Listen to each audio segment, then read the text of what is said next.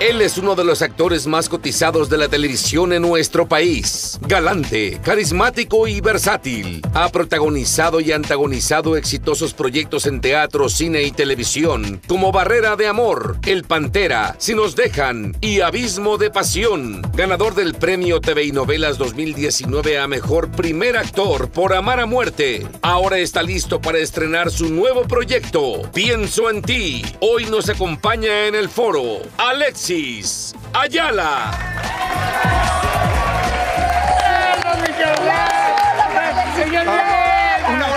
De tres. Sí, sí, chiquita porque ya la vértebra. Sí, ya, con ya, ya. flotis, por Sí. favor, con Ya. flotis. Se, aro- se atora uno, se atora. Alexis, querido, lo que, lo que te queremos, corazón. Yo la también. alegría que nos da verte chambeando y chambeando y chambeando. Sabes que eres de casa y no solamente por hoy, sino que todos tenemos una historia linda contigo.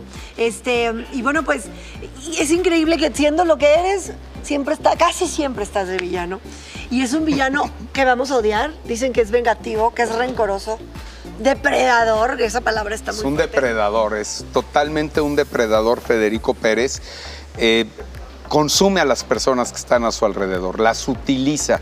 Es un resentido social. Yo creo que todos conocemos algún resentido social con No, poder hombre. y con poder, No, que fue escalando Eso es poco peor. a poco. Eso es peor porque Claro. llegan y no se conforman. Es un personaje que no tiene vicios como los que podríamos conocer, drogas o alcohol, Mm. pero utiliza esos vicios para hacer que la persona pierda su conciencia y esté en la inconsciencia y los pueda mover de alguna manera. Es una producción del señor Carlos Bardazano. Qué es la tercera vez que trabajo con él. La dirección me encanta, Luis Manso, Carlos Santos, escrita por Jimena Suárez, Fermín Zúñiga y otro equipo de, de escritores. Entonces está muy bien lograda. Y algo que me encanta, este, estando del lado de los villanos, es los protagonistas que tenemos. Tanto Dulce como David Cepeda Ay, son lo máximo. tienen algo padrísimo y aquí lo sabemos, ¿no? Hay quien tiene ángel y quien tiene demonio y ellos tienen un ángel maravilloso, Sí, una sí. dulzura Sí. que cuando se juntan de verdad se ilumina la pantalla. Así que no se lo pueden perder.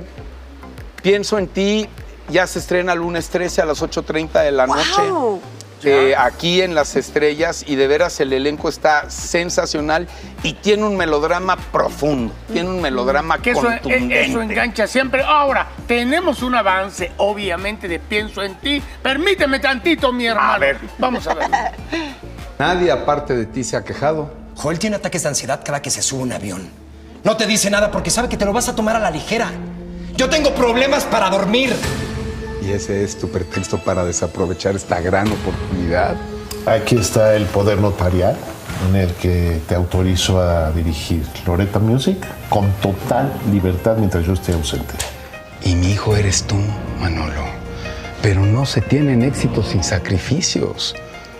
Y mantenerse en la cima, pues tiene un precio. Cuando yo tenga lo suficiente, me voy a llevar a mi plataforma los mejores artistas de Loretta Music. ¿Cómo crees que va a quedar la disquera de ese? En la ruina, Lascano, en la ruina. Híjole. Se ve que lo- todo lo que deseas, estos contrastes de el ángel de los protagonistas, obviamente con todas las manipulaciones en el caso de ti. Ahora, ¿cuándo te enganchas con el personaje de Emilia, Dulce María? Eh, me engancho con ella en el momento en el que la conozco. Federico la conoce y de alguna manera se empieza a ir un poco a su pasado. Eh, si, no, eh, si nos dejan, ¿eh? es que como esa la hice con Bardazano. Pienso en ti al final, no tiene nada más a Federico como antagonista. Yo como antagonista tengo otros antagonistas también, ¿no? Que eso es una parte interesante, donde se empiezan a repartir los contigo. pesos. Está Federico Ayos, está Jessica Díaz con unos lanzamientos importantes ahí, con pesos dentro de la historia muy, muy buenos. Hay cosas que van a vivirse con Emilia de Federico, que lo hace dulce, que eso para saberlo tienen que prender la tele a las 8.30 de la noche. Les puedo contar muchas cosas, pero no hay como verlo, Totalmente. como engancharte. Y creo que la barra de novelas está sensacional, lo que está haciendo Juan Osorio ahorita, lo que está antes de nosotros, que nos vaya increíble a todos, que Así es. tengamos este Totalmente, público sí, sí, sí, entretenido y divertido, que empieza desde los noticieros y aquí con hoy. Así es, Exacto. amigo. Así es, que no se lo pierdan. ¿no? Oye, corazón, sí, por favor, invita al público precisamente, ya los estás invitando, pero pues ahora sí que les quede claro cuando fecha y hora. Bueno, Pienso en ti se estrena lunes 13, 8.30 de la noche. Piensen en nosotros, porque Pienso en ti está sensacional. Les va a encantar Dulce María, David Cepeda, José Elías Moreno, Eugenia qué Cabudo. hombre, Pe- Pepe es Un maravilloso. repartazo. Eugenia. Y ahí estamos también. Y tú, mi hermano. Ay, sí, va a estar Felicidades, querido Gracias. amigo. Eh, te deseamos mucho éxito. Siempre lo has tenido en tu vida personal. En ti te ves muy bonito, padre. Pues Ya estamos preparando los vestidos para Nos vemos me mejor consiente. que antes. Pues ya anda. Ay, Ya tenemos sí. fecha, ¿no?